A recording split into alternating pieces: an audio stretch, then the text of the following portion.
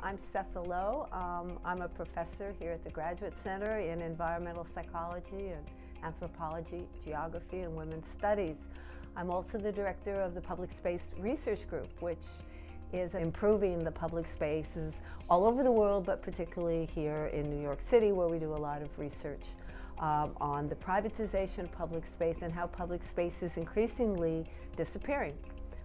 So I'm really wanted to talk a little bit about the Women's March and that we have particular concerns.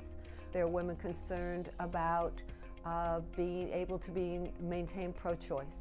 I think they're concerned about the rights to women's health and reproductive rights. I think that women are concerned about their right to get equal pay for equal work. I think women are concerned about women uh, uh increasingly being seen in uh, political office. The, the, the kind of sexism that underlies all our institutions is still with us.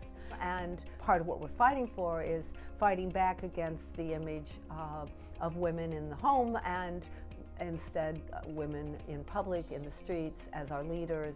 What I get asked as, again, a professor here at the Graduate Center, um, my students are always saying, what can we do? And all of us are trying to work very hard to trying to think about what can we do in this moment of time. And as women who have women's concerns, uh, be it about ourselves, our children, our reproductive rights, our right to marry, our right to not marry, our right to be in the street, our right to be on a subway without being sexually harassed, um, to have equal pay, to have break the glass ceiling, all of, all of this.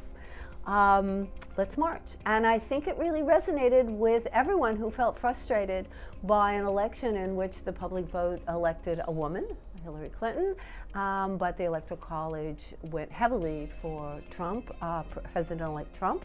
There is a sense that the National Park Service are trying to really reduce the amount of public space actually available for public demonstrations. And I do worry that uh, the Women's March, what we ran into, not being able to find sites, everything being closed, uh, being hard to organize, being hard to find a, a place to be, that that might say something about what we're going to see in the future.